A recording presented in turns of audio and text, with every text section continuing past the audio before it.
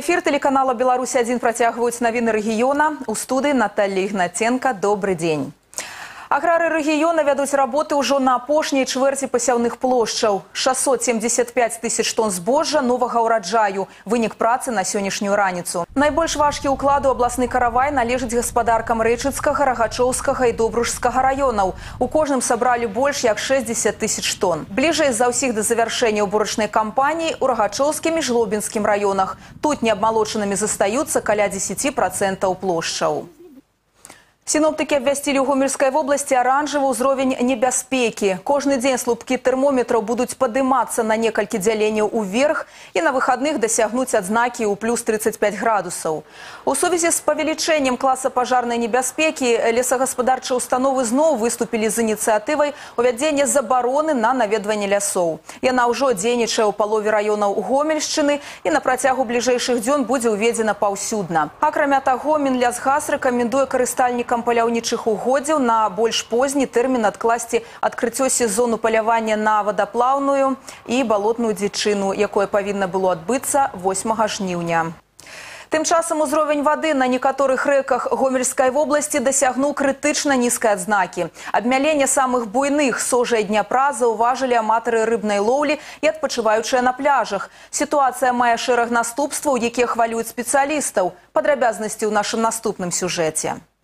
У канцы ліпеня на рацэ прыпяць у мазыры адбыўся надзвычайны выпадак. Прагулачны теплаход смелы сеў на мель. Пасажыраў прыйшлося эвакуіраваць выратавальнікам. На шчасце ніхто не пацярпеў. Адна з прычын здарэння інтэнсіўнае абмяленне, якое зараз назіраецца на многіх рэках і вадаёмах вобласці. Метэаролагі бачаць прычыны ў кліматычных зменах. Невялікая колькасць ападкаў міналагодняй восенню, амаль поўная адсутнасць снега зімой і паводкі па вясне. В дальнейшем дефицит осадков и жаркая погода, которая сложилась сложилось э, в данное время, обусловило спад уровней воды, в результате чего э, они оказались э, значит, на Днепре у города Речицы уровни воды достигли исторического минимума, а на Березине у города Светлогорска, Беседе у села Светиловичей, Сажи у города Гомеля, они достигли, они оказались ниже исторических минимумов. На сожы падобная сітуацыя ўзнікала ў 2002 годзе, аднак сёлета пабіты рэкорды за ўвесь перыяд назіранняў, якія вядуцца больш за 100 гадоў. Крытычна нізкі ўзровень трымаецца ўжо другі месяц. Калі рыбакі купальшчыкі толькі цяжка ўздыхаюць з гэтай нагоды, у тых, хто працуе на рацэ, праблемы больш сур'ёзныя. Пасожы зараз ходзяць толькі прагулачныя цеплаходы ў той час, як перавозку грузаў прыйшлося спыніць. Рашэнне праблемы патрабуе вялікіх сродкаў. Для падтрымання гарантаваных глыбінь узводзяцца ствараецца спецыяльнае збудаванне, якія дазволяць добиться локальных поляпшэнняў. А в целом это должен быть каскад сооружений. И должен распространяться не, допустим, не на областной город, а опускаться ниже, доходить до устей э, Днепра и опускаться еще ниже для организации сквозного судоходства. Ведь в советские времена э, работал э, флот на транзите, то есть из Мозыря грузы шли на Гомель, из Киева на Гомель шли. Конечно, хотелось бы именно вот такого состояния реки. Руслан Проляскоўскі, Вольга Вальченко, Ігор Марыченко, тэлерадыёкампанія Гомель. Ситуация на рэках и озерах потягнула за собой и обмежевание купания на многих водоемах в области. Санслужбы региона за тыдзень проводят каля 100 проверок воды и выники апошней стали несутешальными для особных районов. 35 проб воды не отповедают нормам, 21 по микробиологичных показчиках и 14 по санитарно-химичных.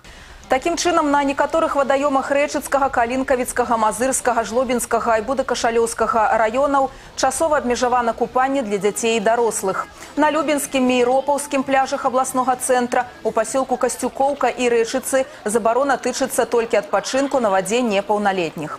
Тым часам па выніках праверкі знята абмежаванне на купанне на пляжы рэабілітацыйна-здараўленчага цэнтра птіч у гарадскім пасёлку капаткевічы петрыкаўскага раёна.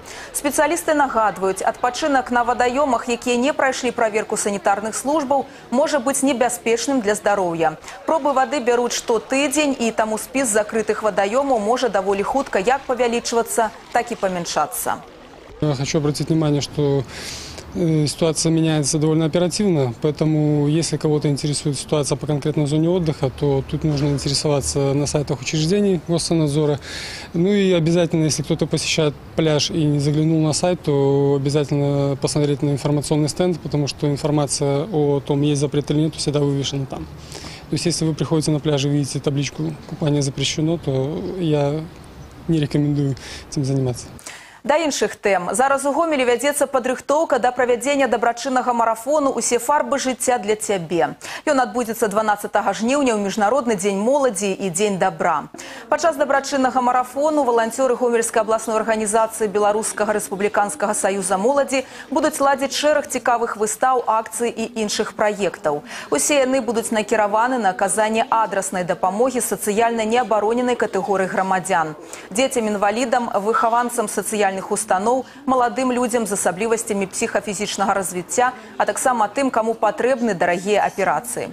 Заключным этапам марафону стане канцэрт з удзелам зорак беларускай эстрады, сярод якіх Пётр Ялфімаў, Вольга Плотнікова, Алексей Хлястоў. Дабрачынны канцэрт будзе ладзіцца ў падтрымку адразу двух гомельскіх студэнтаў, якія апынуліся ў цяжкай жыццёвай сітуацыі. Дар'я Мазуренко з гомельскага дзяржаўнага універсітэта імя Францыска Скарыны і Владзіслава Клімашэўскага, студэнта Беларускага дзяржаўнага універсітэта транспарту. Они оба побывали в ДТП, после которого находятся в очень тяжелом состоянии. И вот Белорусский республиканский союз молодежи благодаря этому марафону планирует собрать э, средства, необходимые для реабилитации этих молодых людей. Билеты вы можете приобрести в кассах УКЦ на улице Ланги, 17 и в Гомельской областной филармонии. Э, Все средства, собранные от этого концерта, пойдут на реабилитацию этих молодых людей. Дабрачынны канцэрт усе фарбы жыцця для цябе адбудзецца 12 жніўня ў 18.30 у гомельскім абласным грамадска-культурным цэнтры. Падрабязную інфармацыю пра яго вы можаце знайсці ў сацыяльных сетках альбо на афіцыйным сайце абласнога камітэта БРСМ. Да навінаў спартыўнага жыцця рэгіёна. Каля 40 спартсменаў прымаюць удзел у першынстве гомельскай вобласці па конным спорце сярод юнакоў. Спаборніцтвы пачаліся сёння ў гомелі. Праходзяць яны на базе абласнога цэнтра алімпійскага рэзерву па конным спорце. Сіла, прыгажосць і грацыя усё гэта аб'ядноўвае ў сабе конны спорт. Абласныя спаборніцтвы гэта своеасаблівае падвядзенне вынікаў работы за год. У гомелі лепшыя спартсмены з усяго рэгіёна на працягу чатырох дзён будуць выяўляць мацнейшых. Праграма насычаная. Удзельнікі паспаборнічаюць у такіх дысцыплінах, як канкур. Гэта пераадольванне перашкод, выездка ці так званы танец, а таксама трохбор'я. Апошняе ўключае ў сябе манежную язду, падчас якой коннікі дэманструюць уменні ў кіраванні жывёлай, канкуры палявыя іспыты ці крос. Гэта самы відовішны элемент. Ён уключае перадольванне перашкод на перасечанай мясцовасці. За памылкі на кожным этапе спартсменам налічваюць штрафныя балы. Перамагае той, у каго іх менш. Первенство Гомельской области среди юниоров э, проходит у нас в конце, э, скажем так, учебного года. И по факту, в принципе, является соревнование, которое подводит итог работы тренеров за учебный год. Соответственно, это соревнования, на которых э, наши учащиеся могут выполнить э, спортивные нормативы, выполнить раз- разряды и приобрести определенный практический опыт. Навіны рэгіёна інфармацыю о праектах тэлерадыёкампаніі Гомель вы можете знайсці на нашым сайце ў інтэрнэце па адрасе www.tvrgomel.by. І на гэтым выпуск завершаны. У студыі працавала Наталія Ігнаценка. Усяго добрага і да новых сустрэч у эфіры.